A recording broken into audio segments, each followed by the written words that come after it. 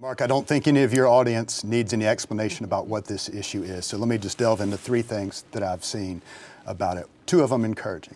One, amongst the NFL community, it's good to see discussions on how appropriately to acknowledge the legitimate issues facing a league where the majority of players are African American in their communities, how to balance that with ways of showing respect to our country and ways of also balancing their obligations to their team. So you see some teams getting together to take a knee.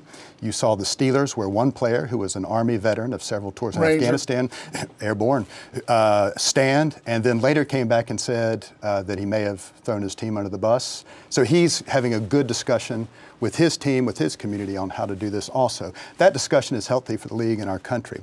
In adi- the second point is I'm seeing a very healthy diversity of discussion amongst my fellow veterans on how to do this. Some of us take the approach, we served our country, we put our lives on the line for that flag, for the country, and by gosh, folks should stand for it. Others have said what I was fighting for was our right to express ourselves. And I'll continue to defend that to the, the day I die. And then others are taking a, a, an approach in between. That's good.